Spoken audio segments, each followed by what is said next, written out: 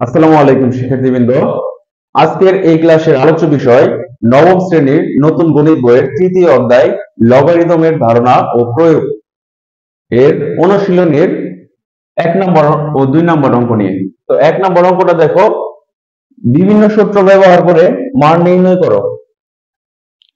তো এখানে একটা প্রশ্ন দেওয়া আছে, এই মানটা নির্ণয় করতে হবে বিভিন্ন সূত্র ব্যবহার করে। তো সেই জন্য তোমাদের এই অঙ্ক সলভ করতে গেলে আমাদের যে সূত্রটা লাগবে সেটা হচ্ছে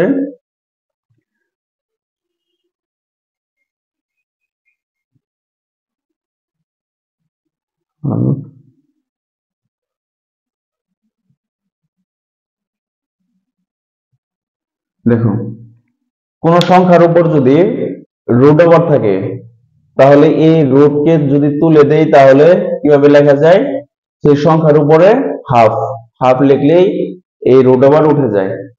তো মনে করো যে এর জায়গায় যদি এখানে ফাইভ থাকে ফাইভ রুট ওভার তাহলে এটা কীভাবে হবে? Five to the power half আবার ধরো এরকম অবস্থা আছে থ্রি রুট এ এটার মানে হচ্ছে থ্রি রুট এ সমান a to the power one by three এখানে যদি থ্রি জায়গায় ফোর থাকে, তাহলে হবে a to the power one by এখানে যদি ফোর থাকে, তাহলে এখানে হবে ওয়ান বাই ফোর এখানে যদি ফাইভ থাকে, তাহলে এখানে হবে ওয়ান বাই ফাইভ এখানে সিক্স থাকলে ওয়ান বাই সিক্স তো মূল যে সূত্রটা এখানে লাগবে, সেটা হচ্ছে এটা। এই সূত্র জানলে এই অঙ্কটা সলভ করা যাবে। তো দেখো, দুই। তো মনে করো, এখানে আছে দুইশো, তিনশো তেতাল্লিশ। তিনশো তেতাল্লিশকে যদি এ এ কল্পনা করো, এটা। তাহলে কি হয়? এর উপর পাওয়ার ওয়ান বাই থ্রি তার মানে আমরা লিখতে পারি তিনশো তেতাল্লিশ, তার উপর পাওয়ার ওয়ান বাই থ্রি কারণ এখানে থ্রি আছে। এখানে ফোর থাকলে পাওয়ার কত হতো? ওয়ান বাই ফোর যোগ, দেখো, এখানে আছে ফাইভ হ্যাঁ এখন করা যাবে দুইশো তেতাল্লিশ, তাহলে এখানে কত হবে? ওয়ান বাই ফাইভ বিয়োগ বারো এখানে আছে চৌষট্টি, আর এখানে আছে কত? সিক্স তাহলে এটার পাওয়ার কত হবে? ওয়ান বাই সিক্স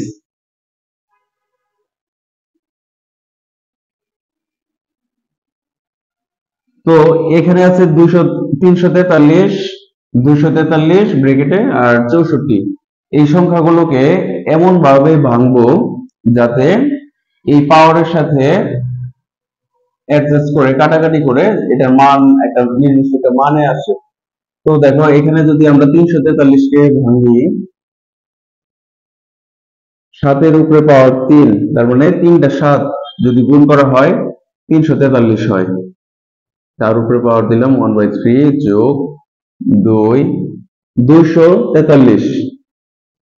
তিনের উপর পাওয়ার যদি পাঁচ দেওয়া হয় মানে three to the power five তার উপরে পাওয়ার আছে কত? One by five minus twelve আর চৌষট্টি। দুইয়ের উপরে পাওয়ার ছয়, দুইটা, ছয়টা দুই যদি গুণ করা হয় তাহলে হবে চৌষট্টি one by six into seven আমরা জানি পাওয়ারে পাওয়ারে সবসময় কি হয়? গুণ হয়। একই সংখ্যার একই সংখ্যার পাওয়ারে পাওয়ারে গুণ হয়। তাহলে এই থ্রির সাথে ওয়ান বাই থ্রি যদি গুণ হয়, তাহলে কত হবে? থ্রি ভাগ থ্রি এরকম হবে না? থ্রি ভাগ থ্রি যেমন ধরো যেখানে আছে থ্রি গুণন ওয়ান বাই থ্রি তো চাইলে এখানে কাটাকাটি হয় সরাসরি। কাটাকাটি করলে ওয়ান হয়। আর যদি বলো যে না, কাটাকাটি করব না, তাহলে কত এটা উপরের সংখ্যা থ্রি ভাগ থ্রি এইভাবে লেখা যায়। তো এটার সাথে গুণ করলে আমরা দেখতেছি যে সরাসরি কত হয়? ওয়ান হয়। আমরা এখানে সরাসরি ওয়ানই বসাবো। যোগ দুই। তো ফাইভ এর সাথে ওয়ান বাই ফাইভ এর গুণ দিলে কি হবে? ওয়ানই হবে। চার ফাইভ ফাইভ কাটা। বারো। আর এখানে আছে গুণন দুই। আর ছয়ের সাথে ওয়ান বাই ছয়ের যদি গুণ দাও, তো ছয় আর ছয় কাটা কত থাকবে? ওয়ান থাকবে।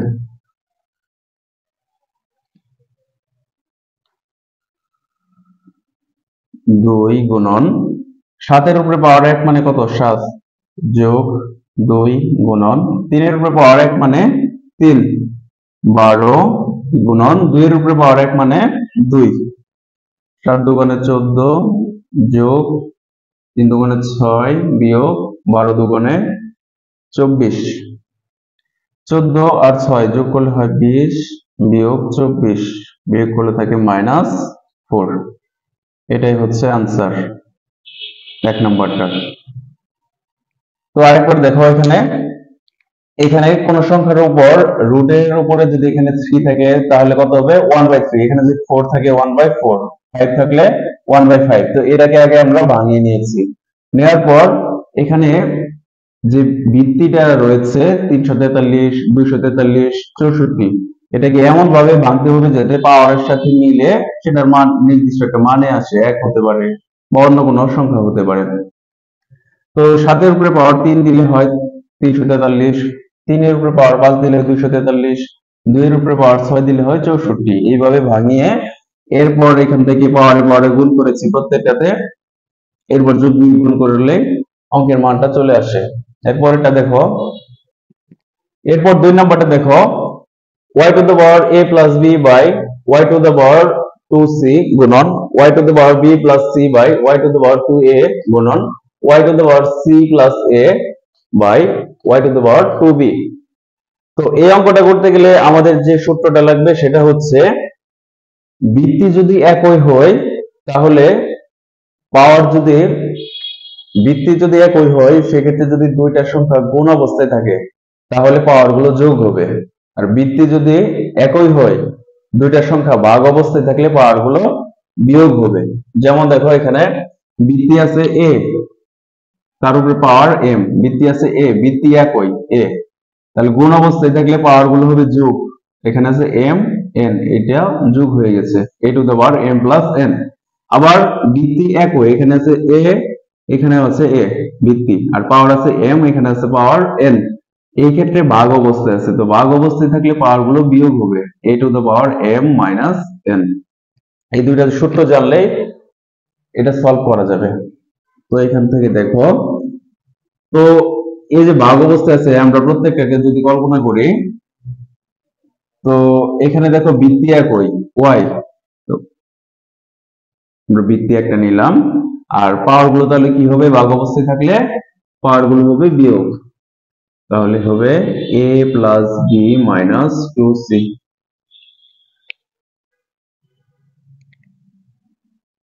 গুণন। এখানে দেখো বৃত্তি একই আছে? আমরা নিলাম। এরপর আছে বি প্লাস সি ভাগ আছে, ভাগ থাকলে কি হবে? বিয়োগ টু এ এটাও একই হবে। Y to the power c plus a minus two b এখন দেখো এখন দেখো প্রত্যেক ক্ষেত্রে এখানে এখানে আছে বৃত্তি ওয়াই বৃত্তি ওয়াই এখানে বৃত্তি ওয়াই তো প্রত্যেক ক্ষেত্রে বৃত্তি একই। আমরা বৃত্তি একটা নিলাম। নেওয়ার পর এখানে দেখো মাঝখানে কি আছে? গুণ আছে। তো গুণ যদি থাকে, তাহলে কি হয়? বৃত্তি একই হলে গুণ থাকলে কি হয়? যোগ হয়। তো আমরা এই পাওয়ার গুলোকে এখন যোগ করব। A plus b minus two c ইন্টুর বদল কি হবে? যোগ। C minus two a plus c plus a minus two b তো এখান থেকে দেখো, এখানে আছে এ এখানে আছে প্লাস এ প্লাস এ দুটোকে যোগ করলে হয় টু এ আর এখানে আছে মাইনাস টু এ এরপর দেখো b plus b plus b তাহলে কয়টা হয়? দুইটা বি আর এখানে আছে মাইনাস বি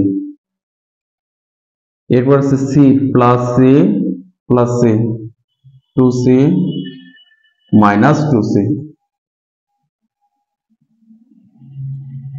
এখন টু এ থেকে টু এ বিয়ে করলে কত থাকে জিরো জিরো যোগ, এটা মনে করো জিরো টু বি থেকে টু বি বিয়ে করলে জিরো টু সি থেকে টু সি বিয়ে করলে জিরো তো জিরো জিরো জিরো যদি যোগ করা হয়, তাহলে কি হবে? এখানে হবে জিরো এটা দেওয়ার দরকার নেই। এটা বোঝানোর জন্য দিয়েছি। তাহলে কোন সংখ্যার উপর পাওয়ার যদি জিরো হয়, সেই সংখ্যার মান হবে ওয়ান এটাই হচ্ছে আনসার এরপর দুই নম্বরটা দেখো।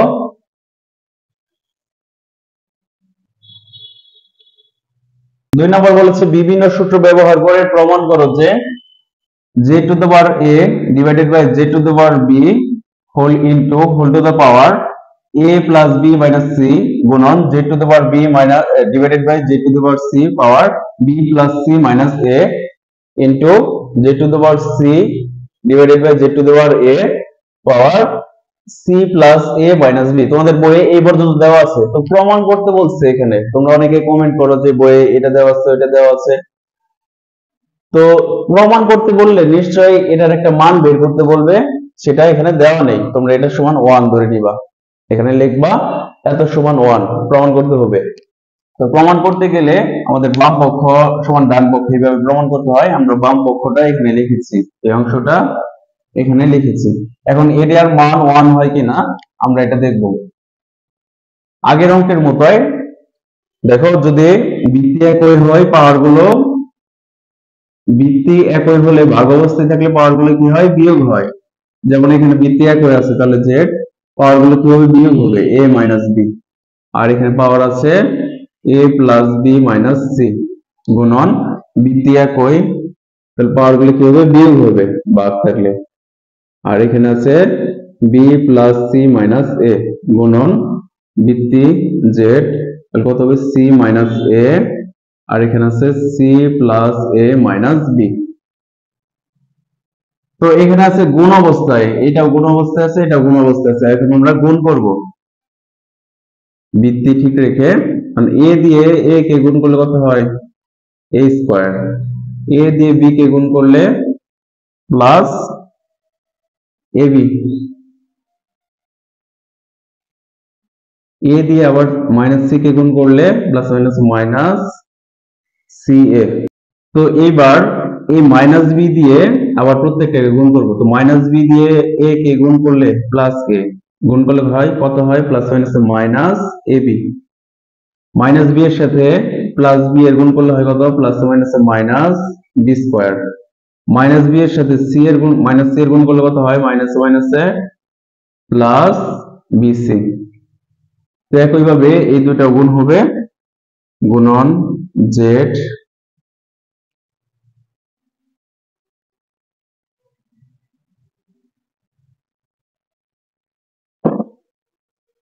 বি এর সাথে বি এর গুণ দিলে কত হয়?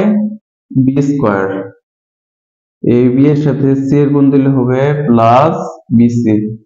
বি এর সাথে এ এর গুণ দিলে কত হবে? Minus a b. এখন আবার এই মাইনাস সি এর সাথে বি এর গুণ দিলে কত হয়? Minus b c.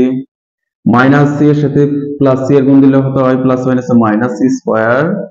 Minus c এর সাথে minus a, minus minus plus c a. এরপর হচ্ছে তিন নম্বরটা, গুণন জেড এখন এই সি এর সাথে সি এর গুণ দিলে কত হয়? সি স্কোয়ার সি এর সাথে এ এর গুণ দিলে কত হয়? প্লাস সি এ সি এর সাথে বি এর গুণ দিলে কত হয়? মাইনাস বি সি এরপর মাইনাস মাইনাস এটা দিয়ে গুণ করলে কত হয়? মাইনাস সি এ গুণ করলে হয় minus a square plus ab এখন দেখো, আমরা এটাকে একটু শর্ট করে নিব। যেমন, এখানে দেখো আছে প্লাস এবি এখানে আছে মাইনাস এবি প্লাস এবি থেকে মাইনাস এবি বিয়োগ করলে কত থাকে? জিরো জিরো তার মানে কি? এটা মনে রাখব যে একই সংখ্যা একটার আগে প্লাস আর একটার আগে মাইনাস যদি থাকে, সে দুটা বাদ যাবে। মানে বিয়োগ যাবে, বিয়োগ করলে জিরো হবে। সেক্ষেত্রে আমরা এটা কেটে নিচ্ছি। এখানে আছে একই সংখ্যা আছে বিসি এখানে আছে বিসি এটা কাটা। এখানে আছে প্লাস সি এখানে আছে মাইনাস সি বাদ। তাহলে এখানে কত আছে? দেখো z to the power a square minus c a minus b square plus bc গুণন। এটা যা আছে তাই লিখব। B square minus a b minus c square plus c a গুণন z to the power c square minus bc minus a square plus a b এখন দেখো, প্রত্যেক ক্ষেত্রে বৃত্তি আছে একই।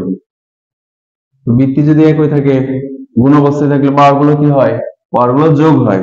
তো আমরা এবার পাওয়ারগুলো যোগ করে দিব। পাওয়ার যা আছে তাই।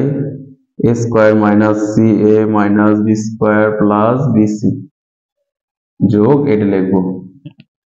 B square minus a b minus c square plus c a যোগ পাওয়ারটা লিখব। C square minus bc minus a square plus ab তো দেখি এবার কোনটা কোনটা বাদ যায়। যেমন আছে এখানে প্লাস স্কোয়ার এখানে আছে মাইনাস স্কোয়ার তার মানে দুইটা বাদ। মাইনাস সি এ এখানে আছে প্লাস সি এ দুটা বাদ। Minus b square plus b square বাদ। প্লাস বিসি মাইনাস বিসি দুটা বাদ। তোমরা এভাবে কাটবা না, তোমরা না কেটে সরাসরি করে দিবা। এখানে আছে মাইনাস এ বি এখানে আছে প্লাস এ বি বাদ। এখানে আছে minus c square plus c square বাদ। সব কয়টা বাদ? তাহলে কাটা গেছে, তাহলে এখানে থেকে কত? জিরো থাকে। এখন বলব যে এটা কাটা গেছে, না, এটা গুণ অবস্থায় নাই। এটা যোগ বিয়োগ করে আমরা কাটছি, আমরা বোঝার সুবিধার্থে। তো বিয়োগ করলে কত থাকবে? জিরো থাকবে। তো জিরোর উপর, কোন সংখ্যার উপর যদি পাওয়ার জিরো থাকে, তাহলে কত হয়? তার মান তার মান হয় ওয়ান এটাই প্রমাণ করতে বলছে যে এত সমান কত? ওয়ান প্রমাণ করো, তাহলে সমান রাইট হ্যান্ড সাইড সুতরাং left hand side equal right hand side root তো শিক্ষার্থী বৃন্দ, তোমরা যদি এই অঙ্কগুলো আরও প্র্যাকটিস করতে চাও, তোমাদের বইয়ে অল্প কিছু দেওয়া আছে, তোমরা আগের নবম দশম শ্রেণির বইয়ের চার দশমিক একের এই কাজগুলো এখানে, সেখানে অনেকগুলো দেওয়া আছে, চাইলে সেখান থেকে প্র্যাকটিস করতে পারো। আর তোমাদের যদি ক্লাসটি করে ভালো লাগে অবশ্যই চ্যানেলটি সাবস্ক্রাইব করবে তো সবাই ভালো থাকবে আসসালামু আলাইকুম।